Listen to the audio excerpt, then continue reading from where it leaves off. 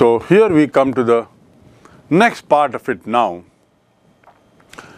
Having understood what is collective noun, now let's come to the next part.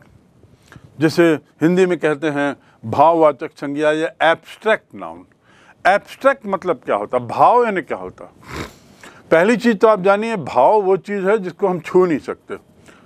महसूस कर सकते हैं feel कर सकते हैं। We cannot touch it we cannot see that abstract का अर्थ यही है abstract is almost the opposite of real वास्तविक से हटकर सो एब्स्ट्रैक्ट नाउन उसका नाम है जो उस विषय से भिन्न माना जाता है जिससे वो संबंधित है अब देखिए इसकी परिभाषा या इसको समझने की कोशिश करिए परिभाषा is not as important for us as trying to understand it good. Good मतलब क्या होता है? अच्छा। काइंड मतलब दयालु। डार्क मने अंधेरा। वहाँ अंधेरा है। अब इसको कैसे बोलेंगे? देर इज़ डार्क ना ये गुण बताता है। किसी चीज़ का गुण बता रहा है कि वहाँ पर क्या वो अच्छा है, वो दयालु है, वो वहाँ अंधेरा है डार्क है।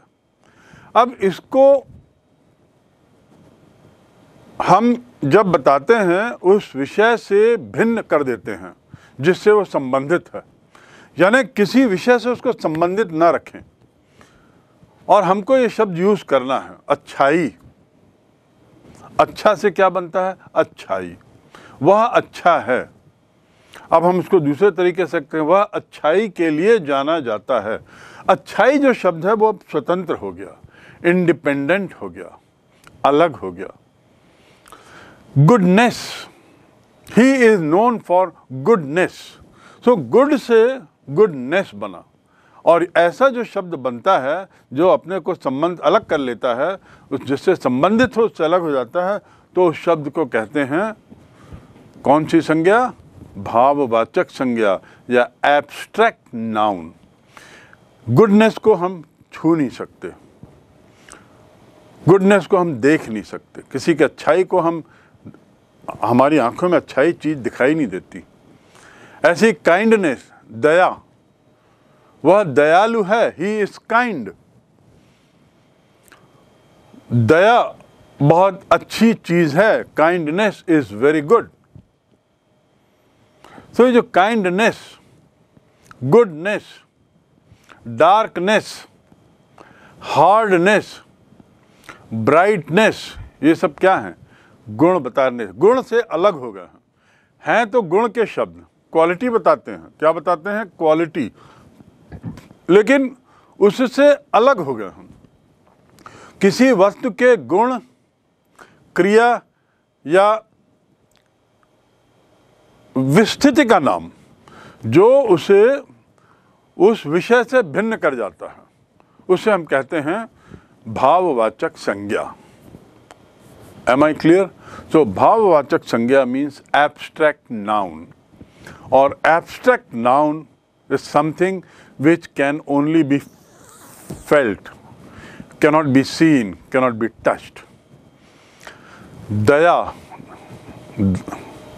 काइंडनेस मतलब दयालु दया गुडनेस अच्छाई अच्छाई डार्कनेस अंधकार ब्राइटनेस उजाला ऑनेस्टी ईमानदारी, ये सब क्या हैं? ये सब एब्स्ट्रैक्ट में आते हैं। दूसरे तरीके से चलिए हम समझने की कोशिश करें कि गुडनेस शब्द आया। He is known for his goodness Ram is known for his goodness अब गुडनेस क्या प्रॉपर नाउन है? नहीं है। क्योंकि ये किसी व्यक्ति का नाम नहीं है। गुडनेस क्या कॉमन नाउन है? यदि प्रॉपर नहीं है तो कॉमन है। अब कॉमन नाउन में क्या है किसी समूह को बताता है? नहीं बताता। तो अब अगला क्या बचता है? अगला बचता है abstract so it has to be abstract, because it does not show the name of somebody. It does not specify a समूह, कोई ग्रुप नहीं बताता। किसी व्यक्ति या चीज़ का नाम नहीं बताता तो ऐसी स्थिति में ये शब्द कौन सी संज्ञा है? भाववाचक संज्ञा। और भाववाचक संज्ञा में गुणों को लेकर, एक्शन को लेकर या स्थिति को लेकर, स्टेट। स्टेट माने राज्य, नहीं, स्थिति। इसको लेकर जो शब्द बने हैं, वे भाववाचक में आते हैं। जैसे पहला मैंने बताया उदाहरण क्वालिटी को लेकर, गुणों को लेकर गुडनेस ब्राइटनेस, डार्कनेस, उसके बाद ब्रेवरी ब्रेवरी यानी बहादुरी, ब्रेव यानी बहादुर, ब्रेव यानी बहादुर। They fought the battle bravely they were very brave Rani Jhansi was a very brave queen Jhansi, Rani of Jhansi was a very brave queen. तो यहाँ brave का अनुवाद क्या होगा? बहादुर। और भाववाचक संज्ञा क्या होगा? बहादुर से भाववाचक संज्ञा क्या बनेगी? बहादुरी। ईमानदार से भाववाचक संज्ञा क्या बनेगी? ईमानदारी। वाइज बुद्धिमान से भाववाचक संज्ञा क्या बनेगी? बुद्धिमानी। ब्रेव से ब्रेवरी काइंड से काइंडनेस ये सब गुण हैं। काइंड इज़ गुण, एक क्वालिटी है। बहादुरी एक क्वालिटी है। ये जो क्वालिटी से जो शब्द होते हैं, वो वो भाववाचक संज्ञा का हिस्सा। ऐसे ही एक्शन से भी बनते हैं। Abstract noun words are form out of words related to action action क्या है? चुराना. चुराना को क्या बोलते हैं? टू स्टील अब थेफ्ट चोरी. चोरी करना नहीं, चोरी. चोरी एक संज्ञा है. कौन सी संज्ञा हुई है? Theft T H E F T Bombay is notorious for theft Bombay is notorious for theft Bambai जो है, वह चोरी के लिए बदनाम है। नटोरियस मतलब बदनाम। नटोरियस मने बदनाम। तो थेफ्ट क्या हुआ? चोरी। एक्शन से। चोरी करने के एक्शन से शब्द बना है जो चोरी, और उससे अंग्रेज़ी में चोरी के लिए क्या है? थेफ्ट ऐसे ही लाफ टू लाफ यानी हंसना आपने सुना होगा, प्रोग्राम आता है टीवी में, लाफ्टर। लाफ्टर का प्रोग्राम आता है, उसके शीर्षक में भी लाफ्टर है। तो लाफ्टर मतलब हँसी। हंसना से बना हँसी, चोरी करना से बना चोरी, चलना से बना मूवमेंट, मूव से बना मूवमेंट। मूव यानी चलना, हिलना। The the earth did not move an inch धरती नहीं हिली। The table has moved five feet move करना मतलब कि हिलाना। और उससे बना है मूवमेंट क्या बना है? मूवमेंट तो एक्शन से बनने वाले शब्द ही कुछ ऐसे हैं जो भाववाचक संज्ञा में आते हैं। और उसमें हम ले सकते हैं लाफ्टर थेफ्ट मूवमेंट जजमेंट जज करना मतलब न्याय देना। जज करना माने न्याय देना। और उससे न्याय। न्याय के लिए क्या है? जजमेंट तो न्याय क्या है? संज्ञा है। हँसी क्या है? संज्ञा है। उसके बाद चोरी क्या है? संज्ञा है। पर कौन सी संज्ञा? भाववाचक संज्ञा एब्स्ट्रैक्ट नाउन नफरत करना। नफरत करने के लिए क्या शब्द है? अंग्रेज़ी में टू हेट टू हेट माने नफरत करना। हे ट्रेड बना है उससे अंग्रेज़ी में hatred we should not have hatred towards any one we should towards any one right? In the class, nobody should have hatred towards anyone. Hatred माने नफरत। Hatred माने नफरत। नफरत क्या है? नाउन है। संज्ञा है। तो संज्ञा है तो उसमें कौन सी संज्ञा है?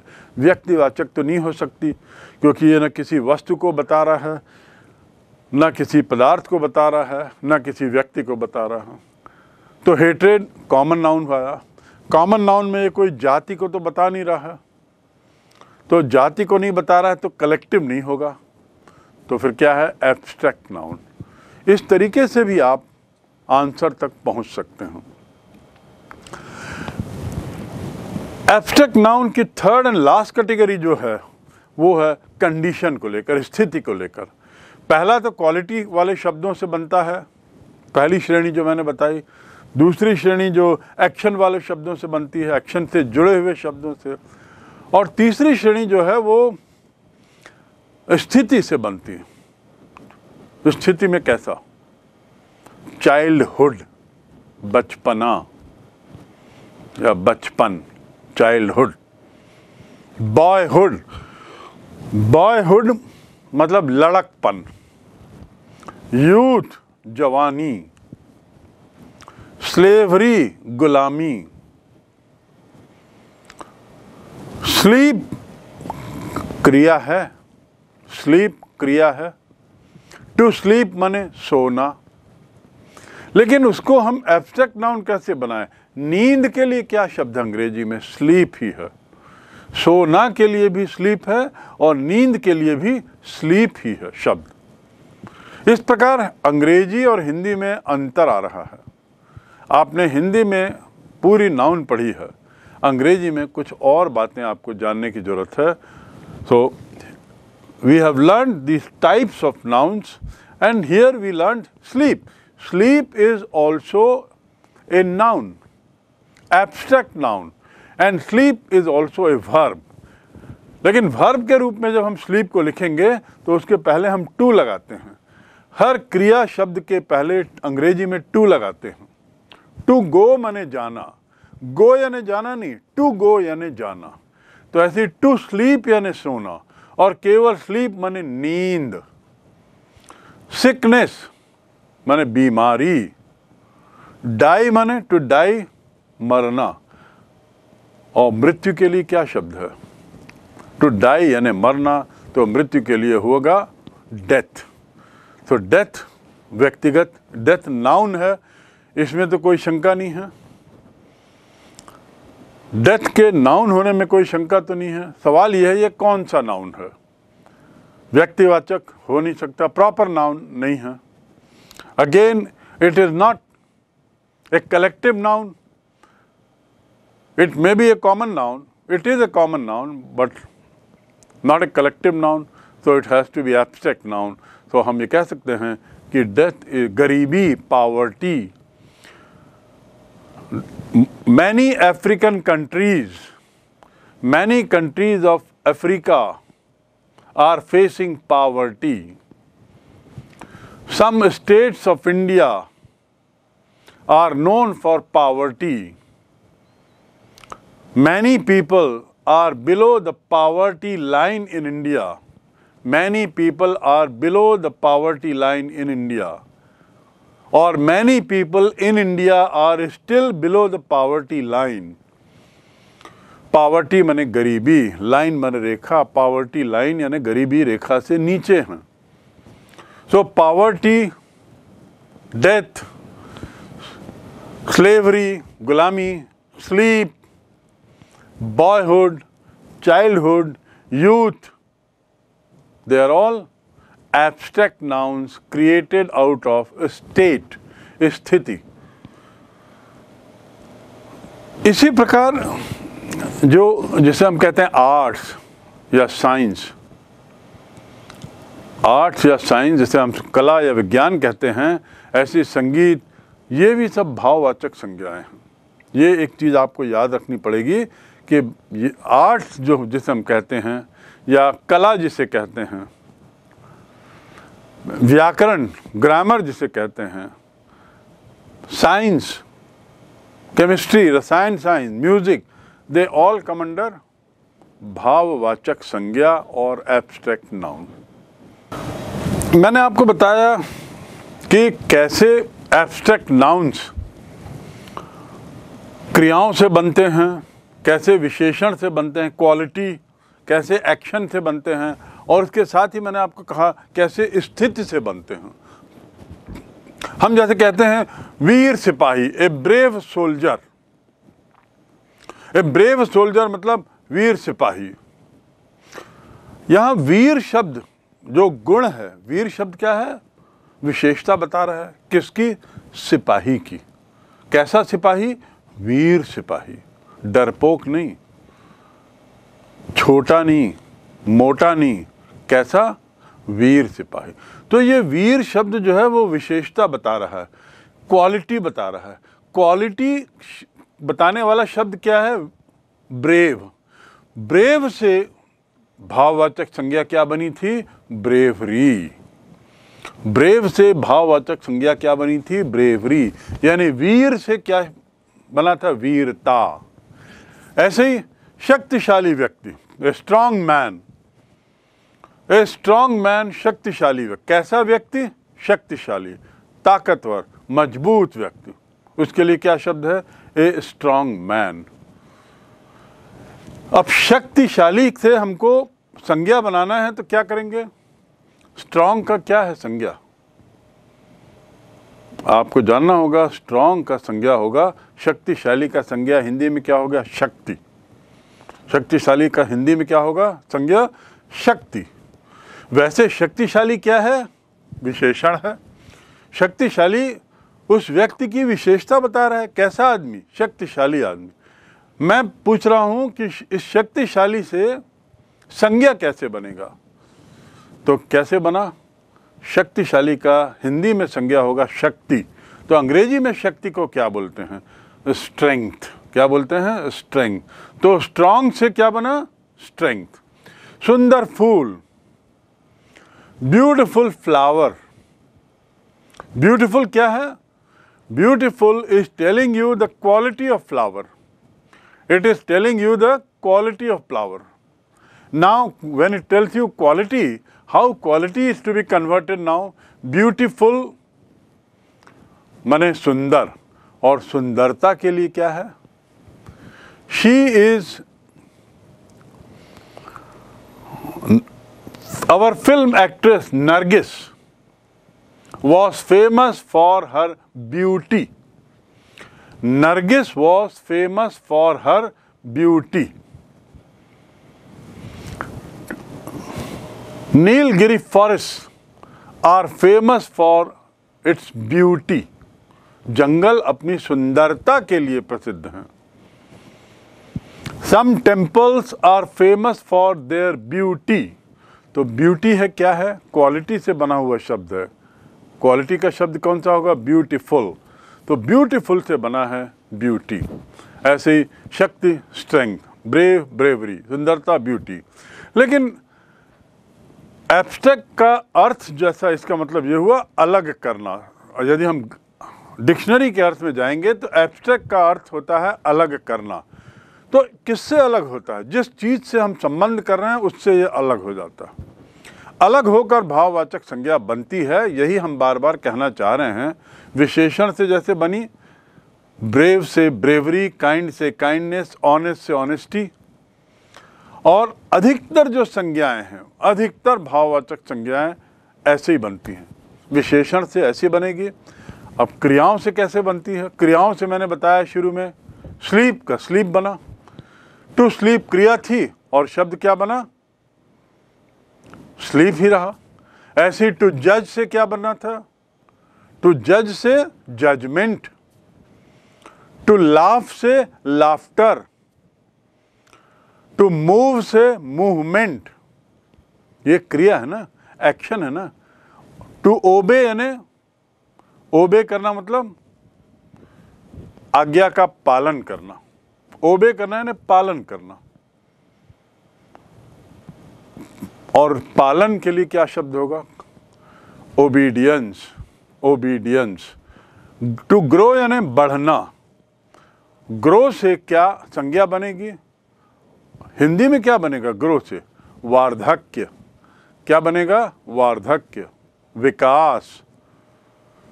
अंग्रेज़ी में इसके लिए क्या शब्द होगा? ग्रो से बना है growth G R O W T H growth तो इस प्रकार हम देखते हैं कि कैसे एब्स्ट्रैक्ट नाउंस तीन तरीके के शब्दों से बनते हैं। विशेषणों से, क्रियाओं से और स्थिति से। और स्थिति का मतलब क्या है? स्थिति का मतलब है किस स्टेज में हो? बचपन में हो तो यदि छोटे हो तो बचपन। यदि लड़कों की उम्र के हो तो लड़कपन। यदि युवा हो तो युवा। युवक हो तो युवा। तो उससे भी जो जैसे शब्द बने, मैंने बताया आपको चाइल्ड से childhood boy boyhood slave slavery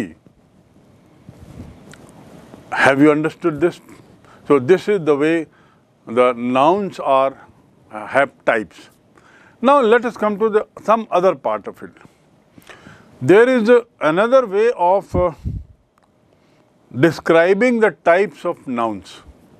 Noun को बताने के लिए कुछ और भी दूसरा भी तरीका है नाउन का वर्गीकरण करने के लिए एक दूसरा तरीका भी है और वो है गिनती के आधार पे गिना जा सकता है या नहीं गिना जा सकता है काउंटेबल और नॉन काउंटेबल काउंटेबल या नॉन काउंटेबल और अनकाउंटेबल तो this is another way of dividing different types of nouns through counting countable और अनकाउंटेबल काउंटेबल नाउन्स वे हैं जिनकी हम गिन सकते हैं। वी कैन काउंट बड़ा सिंपल परिभाषा। जिसे हम गिन सकें, वो काउंटेबल नाउन पहली परिभाषा क्या थी? शुरू में मैंने क्या बताया था कि नाउन उसे कहते हैं जो किसी व्यक्ति के लिए, जाति के लिए, किसी पदार्थ के लिए इसके लिए उपयोग करते हैं। अब यहाँ पर उससे हटकर अब हम एक अलग परिभाषा देना चाहिए गिन सकते हैं। वो नाउन है। काउंटेबल नाउन है। और काउंटेबल नाउन का अर्थ जैसे गिन सकते हैं, हम कॉपी बुक गिन सकते हैं, हम एप्पल गिन सकते हैं टेबल गिन सकते हैं, व्यक्तियों की संख्या गिन सकते हैं सामान जो रखा है उसे गिन सकते हैं एनिमल्स को, जिसको भी हम गिन सकते हैं anything that we can count is countable noun and uncountable noun anything that we cannot count जिसे हम गिन नहीं सकते, वो अनकाउंटेबल नाउन कहलाता है। व्यक्ति तो हैं ही, पदार्थ तो रहेगा ही, वस्तु रहेगा ही। अब इसमें दो तरीके कर दिए गए हैं काउंटेबल और अनकाउंटेबल संज्ञा is definitely noun is definitely name of a person और एन आर्टिकल और a thing Definitely. But now we have divided that into another way, countable and uncountable. Countable nouns we have discussed. Uncountable में क्या आता है ऐसा पदार्थ ऐसी वस्तु ऐसी चीज़ जिसे गिना ना जा सके हवा को गिन सकते हैं क्या can we count the air no अच्छा इसके बाद can we count say for example honesty ईमानदारी को गिन सकते हैं क्या? बहादुरी को गिन सकते हैं क्या? ये नाउन तो हैं, पर ऐसे नाउन हैं जिसे गिना नहीं जा सकता जैसे अनकाउंटेबल शुगर आप सोच रहे होंगे शुगर को तो गिना जा सकता है, एक एक एक एक करके। But that is impossible next to impossible so sugar also ऐसी ऐसी चीज़ें जिसको काउंट करना असंभव है। भले ही आपको लगता हो एक एक एक एक चीज़ हटा के गिन सकते हो उसे भी अनकाउंटेबल मान लो। जैसे शुगर का मैंने कहा। Sugar is uncountable milk is uncountable milk को गिन नहीं सकते। एक लीटर दो लीटर तीन लीटर अलग चीज़ है, पर मिल्क को एज सच आप गिन नहीं सकते। ऑयल शुगर ऑनेस्टी आप दूसरे शब्दों में ये भी कह सकते हैं कि जो निर्जीव वस्तु हैं। गणतीय संज्ञाओं के बहुवचन रूप होते हैं। ऐसे भी आप देख सकते हो कि जो काउंटेबल हैं, उनका प्लूरल बनता है। जो काउंटेबल शब्द हैं, उनके प्लूरल बनते हैं। बुक का क्या होगा? बुक्स पेन का क्या होगा? पेन्स टेबल का टेबल्स पर्सन का पर्सन्स सिस्टर का सिस्टर्स लेकिन जो अनकाउंटेबल है, उसका बहुवचन नहीं बनता। आपने सुना है क्या? एयर का एयर्स मिल्क का मिल्क्स गोल्ड का गोल्ड्स ऑनेस्टी का ऑनेस्टीज ये नहीं होता। तो एक बहुत समझने की चीज़ है कि अनकाउंटेबल थिंग्स जब उसे काउंट ही नहीं किया जा सकता तो बहुवचन, एक वचन का उसमें सवाल ही नहीं उठता। जिसे गिना ही नहीं जा सकता तो हम कैसे जाना? वो एक से ज़्यादा है या कम है? तो वो जैसा है, उसे हम अनकाउंटेबल में गिनते हैं और वैसा ही रखते हैं, उसमें एस नहीं लगाते। लेकिन काउंटेबल में यदि एक वचन है तो बुक बोलेंगे पेन बोलेंगे मैन बोलेंगे टेबल बोलेंगे, कॉपी बोलेंगे, कार बोलेंगे। और बहुवचन यदि है तो उसमें एस लगा देंगे। Very simple so this is another way of creating work creating you know parts two ways वर्गीकरण किस आधार पे? गिनती के आधार पे। संज्ञा का वर्गीकरण काउंटेबल और अनकाउंटेबल